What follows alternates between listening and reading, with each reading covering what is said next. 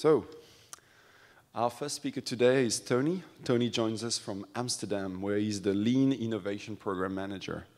And while Service Desk is uh, primarily designed as an IT service desk, we wanted to show you how we've been dogfooding it and using it in different use cases.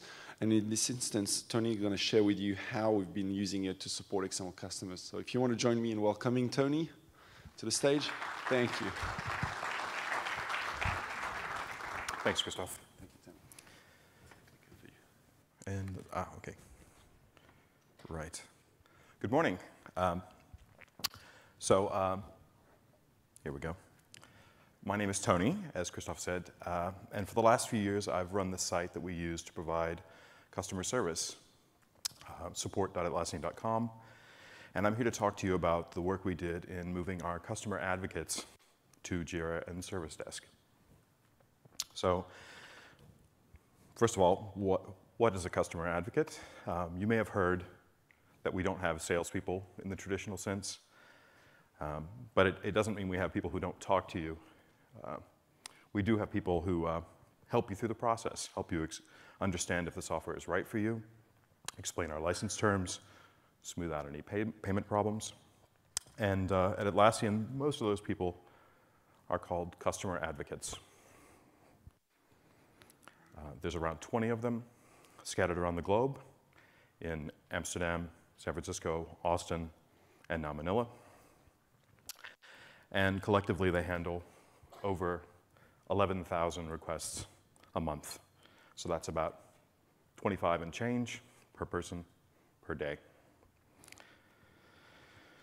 So although they do answer phones, uh, most of the time our customer advocates interact with customers electronically. Uh, some people get in touch via a contact form, some people use email, but from there everything we do is back and forth by email responses, and via the web. So we made a change recently to the way we handle customer service. Uh, and like many teams, we made a change because we had problems with the way things were. Uh, specifically, we had a problem with the help desk software we used. So our customer advocates are a very small team within Atlassian, 20 out of nearly 1,000 and they depend on the lar larger organization to help them answer questions. For example, technical questions about what the product can and can't do, smoothing out billing problems for complex environments, multiple countries. And because our customer advocates were using different tools than the rest of our organization, they had difficulty collaborating. They were isolated. They commonly had to change systems to work with their colleagues, and they didn't have the option to even show people what they were seeing. They would have to describe the customer's concern to another, whoop, to another colleague without the full context. So without the context, it's like a game of rumors.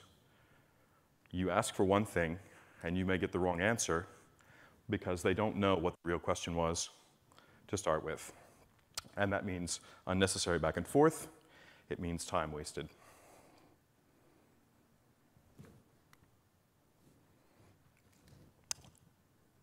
So the next problem we had is that our old system had limited data and metrics.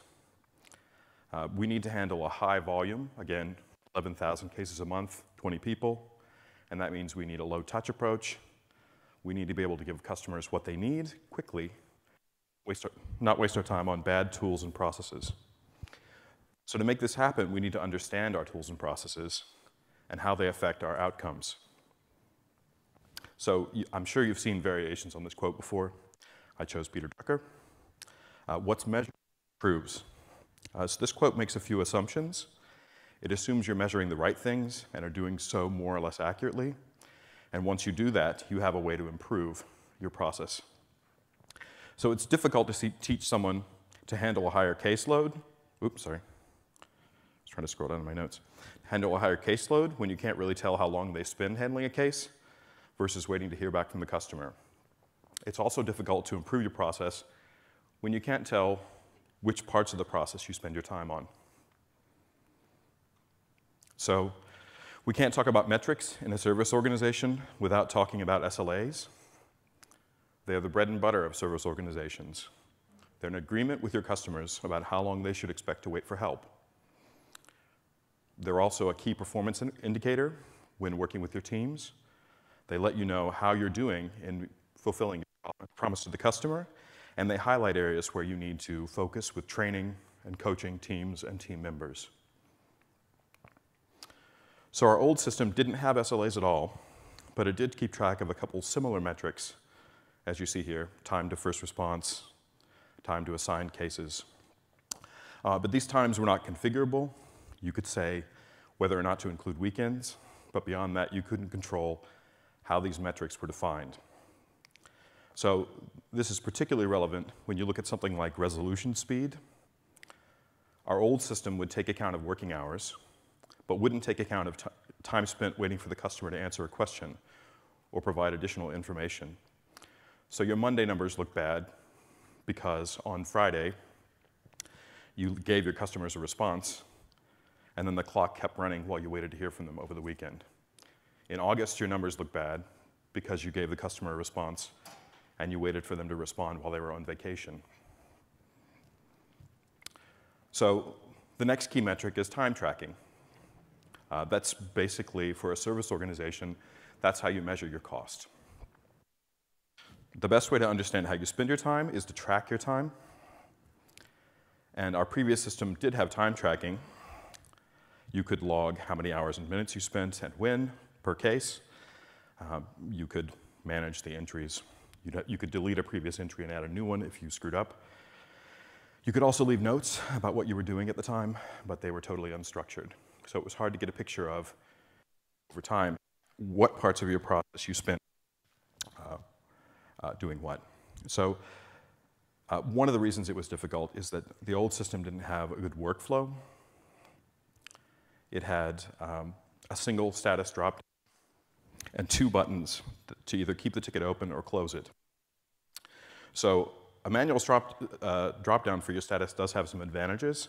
It's very flexible. You can always choose to move between one point and the other. But it comes at a cost. Uh, your team have to memorize what each status means and have to agree when to use it. If they're confused, you'll end up with things where, where they shouldn't be. Uh, and there's no hints to help them decide when to make case to which status.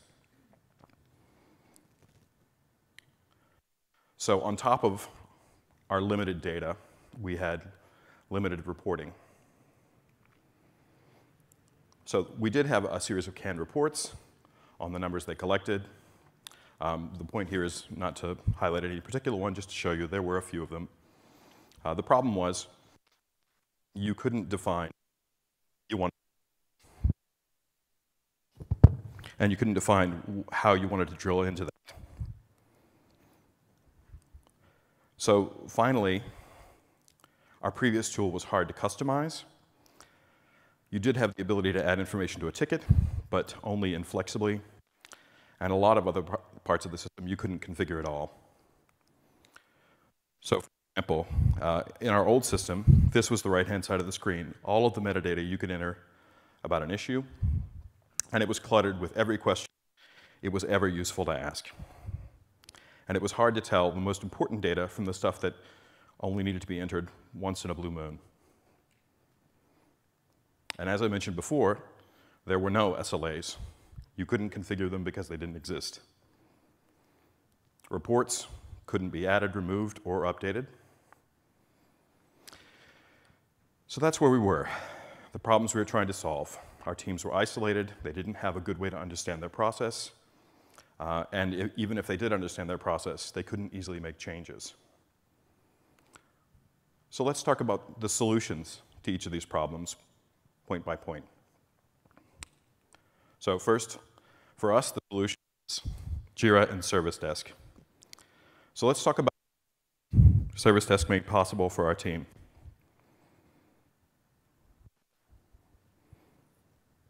So with Jira desk, instead of an isolated team, we have a connected team.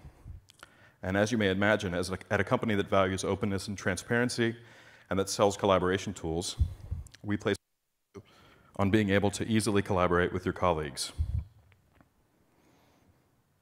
So with Service Desk and Jira, we gain the ability for our team to use at mentions and shares. Thanks. Yeah. Yeah, that'd be good. How, how do we switch this one off? Okay, good. Yep. Thanks, appreciate that. Sorry for this, guys. I think we'll have a little better experience on not dropping out or looking down and seeing.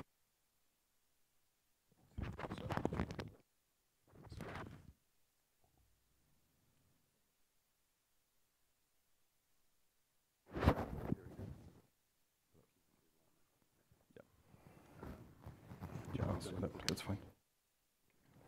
Well, we'll take a minute to make sure you can actually hear me. Just slight pause. Okay. Can you, can you hear me when I'm facing forward? Okay, good. I think this will be much better. I felt like I was kind of holding my phone in my shoulder while I'm trying to talk to you. So here we go again. So with Service Desk, we gained at mentions and shares, two key features of most of our products. Um, and at mentions in the context of, of customer service are particularly useful because you're bringing a colleague in as part of describing why you need their help. You say, please take a look at this name. This thing is happening, and I need you to do this. Uh, they see the instructions when they get there, and it's part of the history. Colleagues who were visiting the case see, oh, right, someone already called Tony in and made him aware of it, right? I don't need to do that, it's already been done. And with good collaboration tools, a 30 second question takes 30 seconds to ask. It may take a little longer to answer, but you don't have to translate, provide the context, run people down. It's much easier. So we talked about data and metrics before. Um, as I mentioned, that was a problem with our old system. And Service Desk gave us a lot of powerful new options. Good metrics start with collecting good data. And for us, labels were a big part of that. It sounds kind of funny, but um, it, it, was kind of, it was really important. Uh, labels are ideal for giving teams uh, a way to add information uh, that you don't always need to collect, and for letting them do that when they feel it's necessary, uh, and not, with, not uh, have to ask an administrator or a developer to help them out. So for example, you're running a marketing campaign, you want to tag issues that come in related to that campaign. The campaign's running for two weeks. It's not running for the rest of the life of the company. Uh, or you have a problem with your billing system and you identify customers that were affected. You have a one-time problem. You want to track who's affected and then deal with those. Mean, it's, it's perfect for short-term concerns. Uh, so we, we went through all of the questions that we had collected before, and there were about 80 of them. We had about 80 custom fields in our own, that, that long scrolling list you saw. And we found out that, that 20 of them, 21 in fact, were used less than a tenth of a percent of the time. So to enter the information that you cared about, in most cases, you had to tiptoe past all of the information that wasn't really relevant. So we removed 21 custom fields in favor of labels uh, and made it easier for our team to focus on the information that they need for every case, and not just the edge cases. So SLAs, we didn't really have at all in our old system, and Service Desk made a huge difference here. So this is uh, blurred to protect the innocent. But um, the, the, point I wanted you to see here is the right-hand column, all of the times running down the side. Don't worry, this is uh, test data where we cloned it and then it was sitting there. We don't intend to keep you waiting for 78 hours, 35 hours, et cetera. Um, so the point here is that your work is uh, put together into a shared queue, which is important for teams that manage a common work, workload, uh, and that you see the information in the order uh, that it needs to be attended to.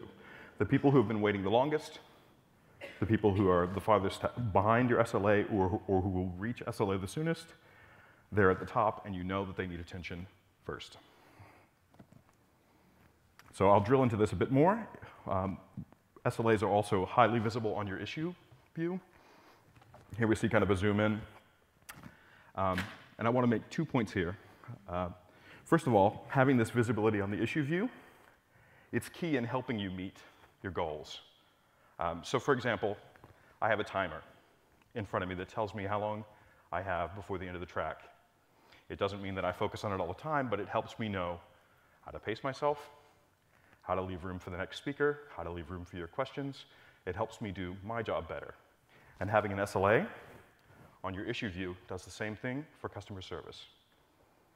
I also wanted to point out there's three SLAs. You can have different SLAs, and you can add the ones that make sense for your organization. Maybe for your organization, first response, overall response are all you care about, but maybe you have other metrics that you care about, and you can have as many as you need. So, as we talked about earlier, a good workflow helps you break down the process of helping your customers and understand how you spend your time. So, with Service Desk and with Jira, the workflow is highly customizable. You can define all of the steps and also the path between the steps. You can control who can execute which steps, uh, which lets you delegate work to the right people without having your staff get confused, take issues down the wrong, wrong road. Uh, they just have a clear path to, for example, escalate for technical input, um, to get feedback from finance, et cetera. Um, and those buttons appear in, at the right time. So what about the customer side? You, ha you have this ability to make this great complex business process. I wanted to mention this because from the customer side, there is no workflow. The beauty of Service Desk is that the complexity stays where it's needed. On your side of the, of the fence, business processes are configured the way they need to be, and your customers are never aware of it. All they do is come in and comment on a case or reply to a ticket, and Service Desk automatically transitions the issue to the next appropriate state. So, for example, a lot of back and forth workflows are we're waiting for the customer, they're waiting for us. If we're waiting for the customer, when they reply, when they take any activity on the ticket, it should come back to our attention. And that's what Service Desk does for you automatically. And this makes it clear to your staff which things need their input and which things they can safely set aside for a few minutes. So, back to time tracking. Uh, if we're going to understand how we spend our time, we need an easy way to track our time. So, with Service Desk and Jira, uh, we have the ability to track time again, hours, minutes, days. Um, and, but what's powerful is that we have the ability to track it in context. We can associate that block of time spent with the activity we took. If we're handling an incoming case and we send it to the customer, we can see how long we spent on that first interaction uniquely. And we'll get into why that's so important in just a bit. First, we need to talk about the change log. This is just a view of the history of the case. So the workflow diagram you, you saw earlier is just one stop in the life of a case. Um, that, that you, you see uh, on the issue view how things are now. With the change history, you see how they've changed over time, including what statuses they've through, what information has been updated, uh, and just as importantly, who's taken action. You can see um, who did what and when uh, throughout the whole history of the case. And I always like to mention this with Jira 6 and higher, this is searchable. You can actually search through the change history. Uh, so this example is kind of illustrative. I can say, show me all the cases whose status was ever changed to resolved. And by itself, that's not very useful. Um, eventually, all of your tickets will be resolved. So if you said, show me all the tickets that have ever been resolved, you're just looking at all of your old cases. But what's powerful is you can say, show me just the cases that have been resolved in the last three days. So for example, your team lead might, for a week, review all of the cases that are resolved to see how often they reopen.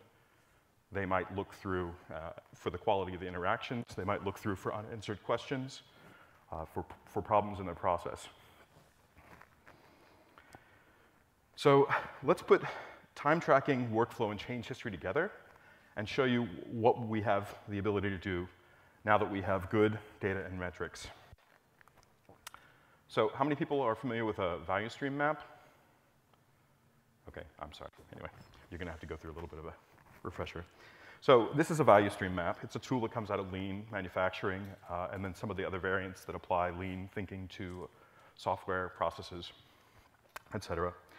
Uh, in a value stream, you look at the process of giving the customer what they want from end to end. In manufacturing, this would be everything from your supply chain to your manufacturing process to your distribution. our value, what we provide, is information to help you get back to work. Um, and we need to look at the stages where we provide value from end to end. This is kind of a simplified view of the process. What we're doing is we're looking from start to finish, how do we spend our time? And then which of those activities add value and which don't. So in our case, value is the information you need. Cost is the time we spend giving it to you.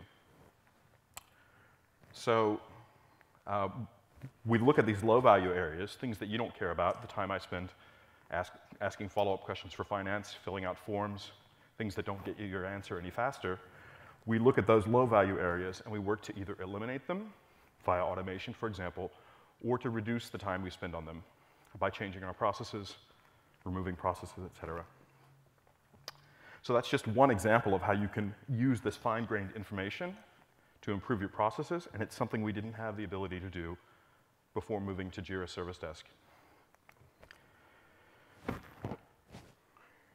So let's move on to reporting. Uh, value stream map is the kind of thing you would do maybe quarterly, maybe monthly, depending on your organization. Uh, but it's, it's not a substitute for good real-time reports. Your operational teams are daily trying to understand the volume that's coming in so that, for example, they can bring in extra people if there's spikes in demand. Um, and they also want to see how they're doing in real time in meeting customer needs. So Service Desk reporting does a really great job of this. I'll show you a few shots. With Service Desk, we have the ability to add our own reports uh, where we say what issues we care about using JQL, which we'll get into in a bit. Um, so in addition to the overall time metrics we had before, we can also report specifically on our SLAs, how often we met or breached SLAs. So given that this is kind of the point of SLAs, this is pretty important. Our teams can see how well they're doing in meeting the promise that they made to their customers. And they can work to improve their performance over time. They can also set private SLAs to say, okay, this is the SLA we're thinking of announcing at our big conference for the year. We want to know if it's realistic, how often we can meet that. We, we, we say that we're going to do a day now. We're thinking about announcing six hours. We want to try that for a month. So this kind of thing, you, it doesn't even have to be the SLAs you already have. You can use it to reach for tomorrow's SLAs. So these are all customizable, which we'll get into in the final section, but I wanted to point out, not only can you say what graphs you have, you can also control what series are on each graph. And this is a good example, because um, it compares workload and responsiveness. So this is an incredibly common question that you would have in a customer service organization with multiple offices. How are we doing in responding to the load in each region? Do we have the right staffing in each region? If all of our customers are in this time zone and all of our staff are here, we're not going to do as good a job of matching that, and over time we'll move people around, change shifts, et cetera. These are really common questions you'd want to answer, and Service Desk lets you answer them in real time.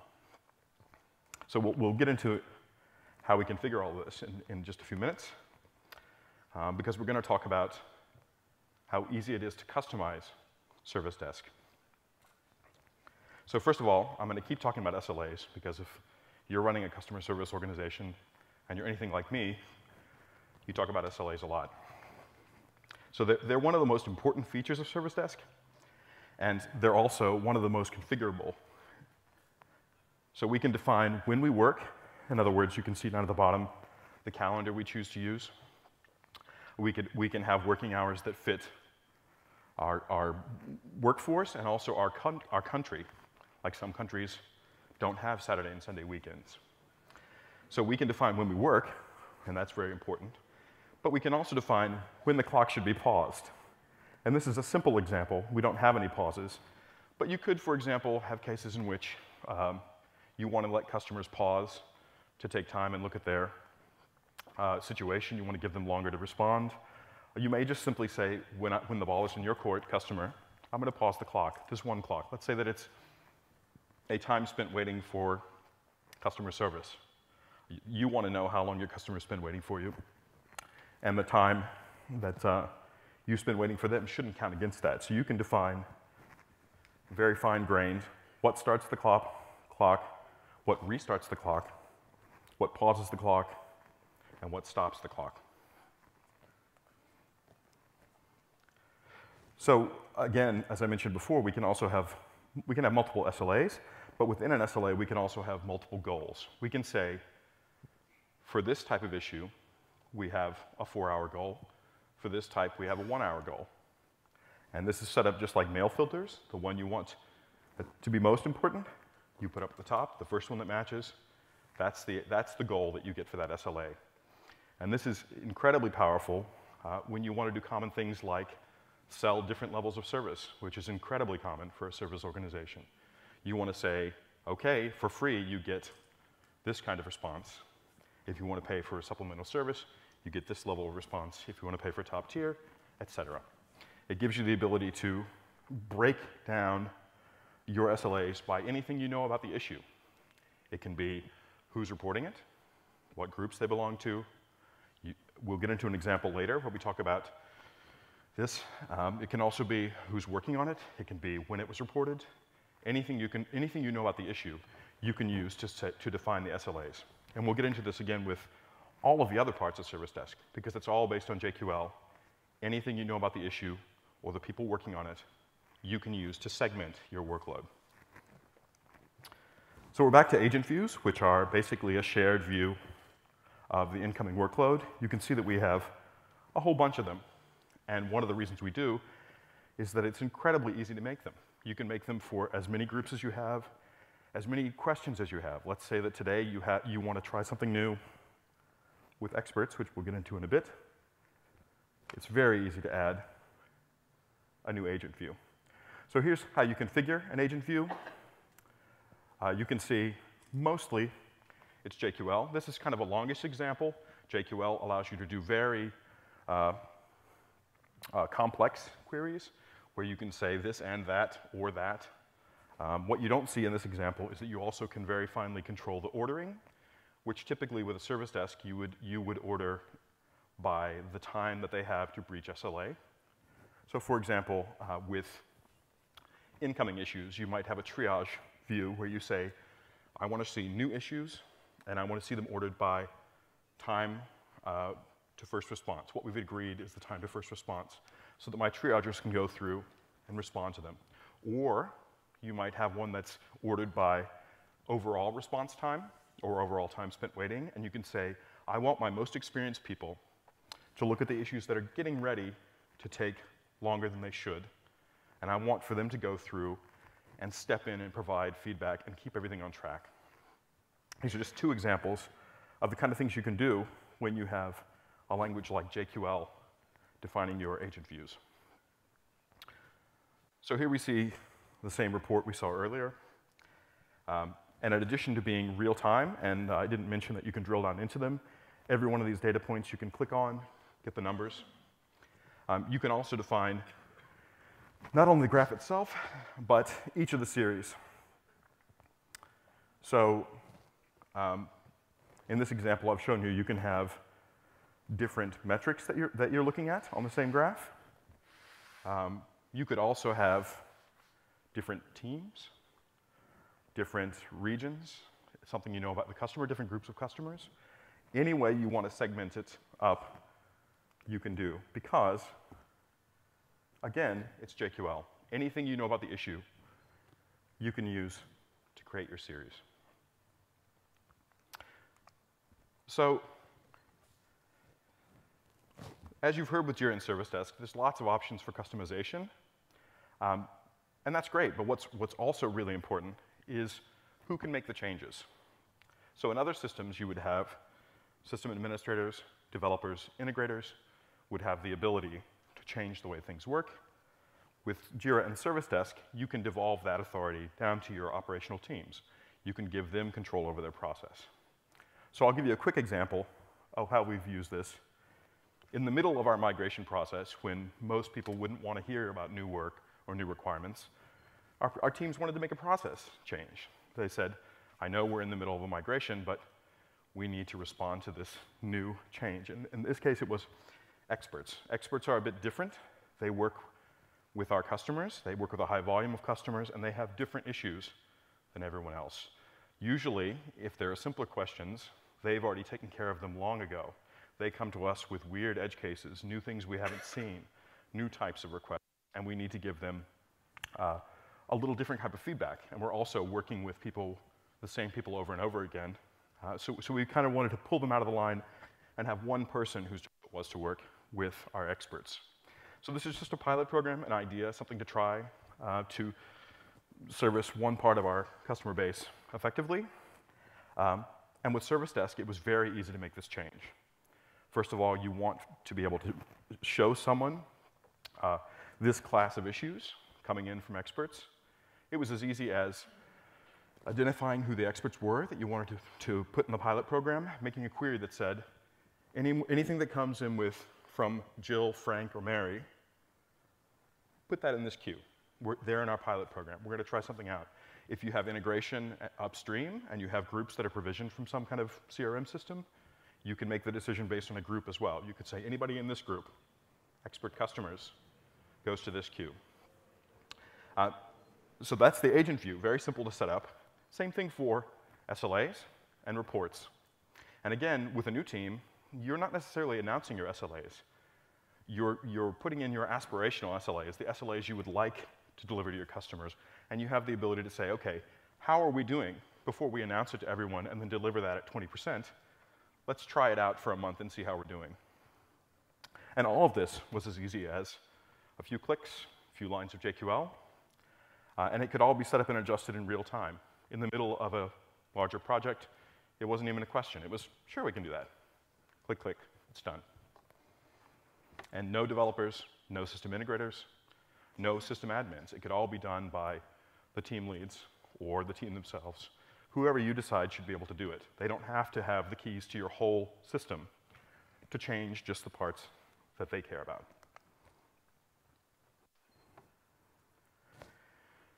So to wrap things up, with Service Desk and Jira, we now have a connected team who can get the help they need from the whole organization in real time.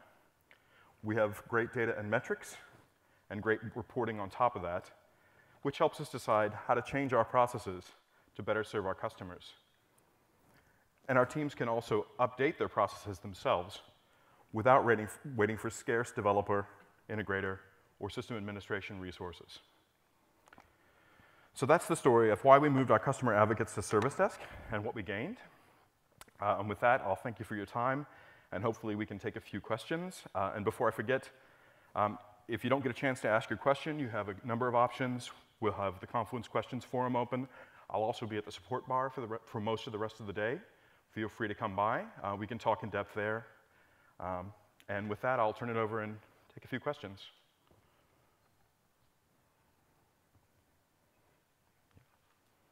First slide after the party, all right? I hope I wasn't talking too loud. You guys okay? Like I say, if you think of it, uh, are you? Ah, nice. So, uh, right. That's a good question. You can configure the wording, uh, certainly, uh, and you do have some options. Um, they're not built into the process yet. What we've done in support is to inject a little bit of JavaScript to change it. Um, it is a customization uh, that's beyond the reach of just an IT team with no developer resources, but it is possible. Uh, and I would expect for you to get more and more control over your portal over time. Right. Nice. Ah, I answered this one yesterday, but since the answer is not up there, uh, with um, this is a common uh, request. I mean, uh, often your customers are not working in isolation; they want to share with parts of their team. Uh, with agent-based pricing, it's not possible to do this type of collaboration unless you give uh, someone a, a, seat against your Jira user license. But it is a pretty popular user request. Um, if you look at this ticket on, on the, the forum, um, I've linked to the two, uh, the two feature requests. One is for individuals and one is for groups. I would keep an eye on those uh, because I, I, think this is something we hear over and over again. Which one are you uh, answering there? Are you because it seems like he's asking two questions there. Go back? Yeah.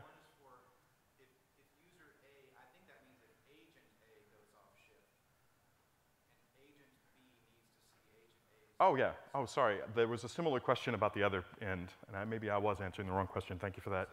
You, you certainly, you, do already have the ability to collaborate with your larger team. You can have collaborators in, in your organization who don't have agent licenses, but do have JIRA licenses, and they can see other people's issues. Your agents can, of course, see each other's issues on the agent views. It's down to you to define. The customer writes back, you don't get an email, right? Because it was It depends how you do it. What we typically do in our organization is we configure uh, what we call MIA um, agent views, where you say, "These- these are for people who we know are on vacation, or these are tickets that are taking longer than a certain amount of time. Uh, and then people will just pick those up as they come back. Or you'll reassign the issues when people go. you just make a filter just for those things. Yeah. Yes.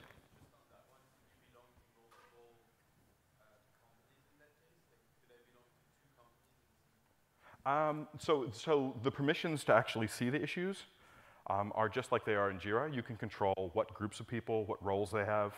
Um, you have pretty good control over who can see issues. Uh, and that, that hasn't changed in the service desk world. Yep. Uh, But the customer cut side has changed. This is the one I was responding to. So just remember, just rewind a bit. There, it's not currently possible without giving someone a full seat on, against your Jira license. Um, but there are two pretty popular uh, feature requests about around it that I'd encourage you to watch, because a lot of times, even even if it's it's uh, further out on our roadmap, you'll see plugins and third-party things to close it, tips and tricks. Um, so even if you don't get an answer today or tomorrow, you'll you'll meet other people who are dealing with the same issue. So if you look at this one on our Confluence question space, there's two service desk tickets that are linked, one for groups and one for individuals.